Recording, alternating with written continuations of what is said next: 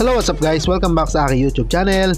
And in this video ay tuturo ko nga kayo kung paano nga makuha yung latch feather na yan sa 7 days event. Then syempre manalo sa diamond contest. Then make sure tumuto kayo hanggang dulo dahil ipapamigay natin tong account na to sa ating lucky viewers. Nandiyan na rin yung mechanics. So make sure nakatuto kayo. Pero syempre, ay kung bago ka lang sa aking channel at gusto mo ng mga content about sa MU Dragon Adventure Mobile, ay huwag mo kakalimutang mag-subscribe at i-hit ang notification bell para sa mas marami pang update tungkol sa larong ito.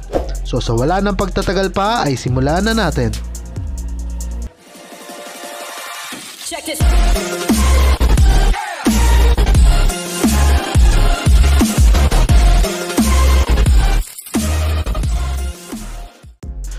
So ang mangyayari nga guys, ito ngayon Diamond Event ins ito yung pang sa pang 7 days ma-unlock to.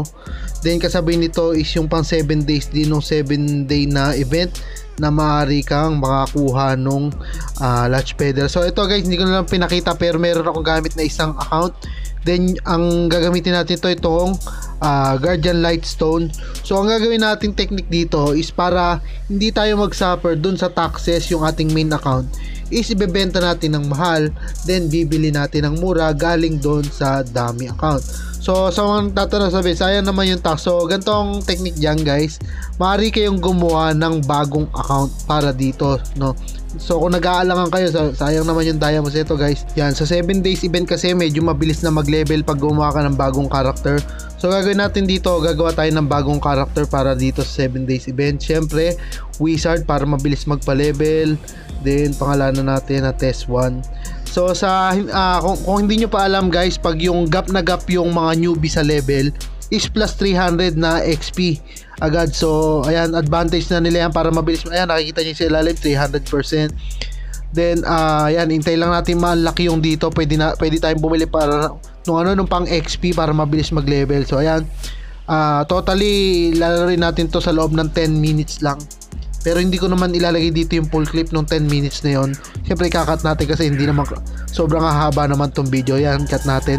So yan, level 78 na nga tayo. Then kita nyo, pag, pag pumatay na tayo ng isang egg kung ano yung level agad yan. Then ito yung sabi ko guys, magkakaroon tayo ng additional na diamonds kada magle-level. Ayan. So, matik yan na pag newbie, eh, magkakaroon ng ganyan. Tong dami account natin, nilalaro pa lang natin for 3 minutes or 2 minutes pa lang something to. So, ayan. 91 na siya.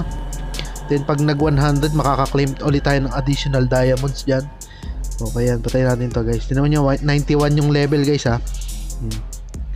So, ito lang naman eh yung halimbawa kung sakali nag-aalangan kayo, sasabihin nyo, sayang naman yung tax. So, yan. So, anim na level yung dagdag, isang egg, no? Parang gano'n. So, yan. Tapos, ang gawin nyo na lang dito, guys, i-AFK nyo na lang dito sa Debias para sunod-sunod yung egg. Then, uh, pwede nyo tapusin yung mga task para mapal VIP 1 nyo agad para sa additional diamond. So, uh, basically, ang kukumplituhin lang natin dito is yung ano, yung reward sa level na diamonds kasi parang napatak na kaya makaipon ng up to 10,000 doon guys. Plus yung yung mga napupulot na item pwede mong i-resell ng pinakang mura muna kasi kadalasan pag yung nag-excellent or realm boss ka is may napupulot yung bagong gawang character yon diretso benta man lang siguro kasi hindi mo na, hindi mo naman planong ano eh ito yung gawing mo main talagang totally dami yan yan tas claim pa lang ng claim ng mga diamonds yan oh. Dami ng diamonds na yan. Then yan yung gagamitin natin na pangbili at saka yung pangbenta doon sa sinasabi kong trick. Pwede nyo nga bilhin nyo sa 7 days na XP. Yan. Makikita nyo ba mabilis mag uh, level yan pag binili nyo to. So ayan. 102. Yan nyo. Hindi pa nag ano eh. Alam ko ipipindutin nyo. Ayun. Nag ano na. From 102 pagka-click natin. Ayan. Nag 135 na. So mabilis kayong totally magle-level dahil doon sa mabibili nyong XP potion.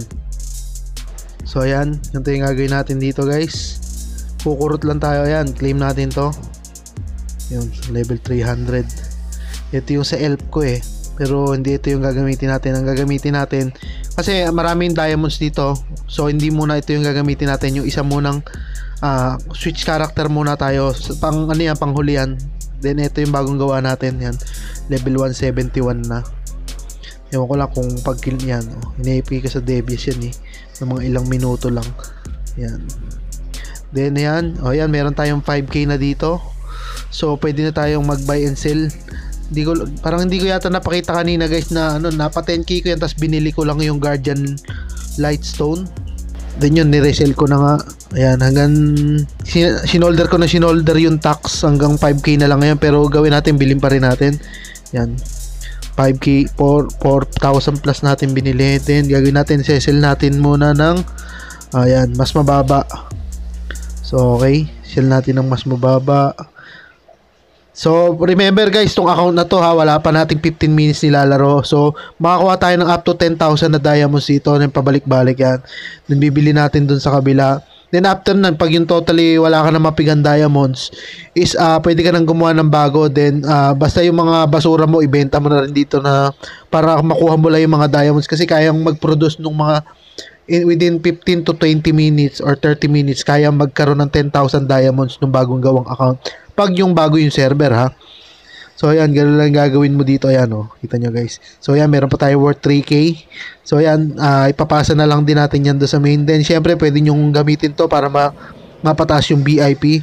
Pero punta na tayo doon sa Elco kasi kumbaga, kino-complete lang naman natin binibigyan ko lang kayo. Siguro sa susunod na video natin, isasama ko to na kung paano yung gagawin kong pagpa-farm ng diamonds, papadamihin natin yung kumbaga wala pa revert pero papaabutin natin ng 100k yung diamonds kahit wala pa tayong ginagastos, no. So yan, plus 3k diamonds sa 175 level. So ayan, 15 minutes lang, nasa 15 to 20 minutes lang natin nilalaro pa to. Ayan, 5k na naman. So, ayan, kaso 2k na dito, bound yung iba eh. So ayun, gamit na nga lang yung bibili natin dito siguro. So after 7 days nga ng mahaba-habang uh, pag ano nito, paglalaro nito ayan, makukuha na natin yung Dutch Pedal. So ibig sabihin may second wing na tong ipapamigay nating account. So paano nga ba makasali at paano may paano kayo makasali dun sa bigayan ng account no? So gagawin nyo lang is mag-comment lang kayo sa comment section. I-comment nyo lang yung mga G- email address nyo, i- i- mamimili ako dyan nung talagang mostly pinakamaraming comment dito sa aking uh, channel. Uh, at ipipm ko sa inyo siguro maya maya ng konti after ng 12. Siguraduhin ko lang siguro na makukuha nyo yung sa diamond reward, yung uh, spend diamond reward para cool na cool. Pero ayan, Kumbaga, build na lang aayusin nyo dito kasi minadali, medyo minadali ko siya. Then, meron na rin yung second wing. Kayo na lang bahala mag-ayos ng stats dito, no? So, ayan, i-comment nyo lang yung mga email address nyo. Mamimili ako kung sino dyan yung pinakamaraming comment sa lahat ng mga video ko. Ayan, kita naman dyan sa history ng kung ilang video yung pinag-commentan nyo. Kung sino yung pinakamarami kong makita na active dito sa channel ko pagko-comment, isa kanya ko bibigay to. Then, syempre, um, papasalamat ako sa inyo dahil sa patuloy na suporta nyo sa akin. No? So siguro sa susunod na pamimigay natin ng account, ganun lang gagawin natin yung kung sino yung pinaka-active na mag-comment dito, lalo na mga newbie dyan. So, ayan. So, kung nagustuhan nyo itong video to, ay huwag nyo kakalimutan mag-subscribe at i-hit ang notification bell para sa mas marami pang update tungkol sa larong ito. Maraming salamat sa panonood and see you on my next video. Pahabol lang guys, yan. Kayong mag-alala dahil nasa top pa rin to sa Diamond Contest kaya sure ball na makukuha nyo to no. Goodbye. Yeah. Everybody knows that I'm breaking down. Everybody knows I ain't faking now. Everybody knows my heart's vacant now. Yeah, she hates me now, I made mistakes but now I don't ever wanna be alone. I don't really ever feel at home On my own, in the zone. That's the only way I know. Feeling low, about to blow back up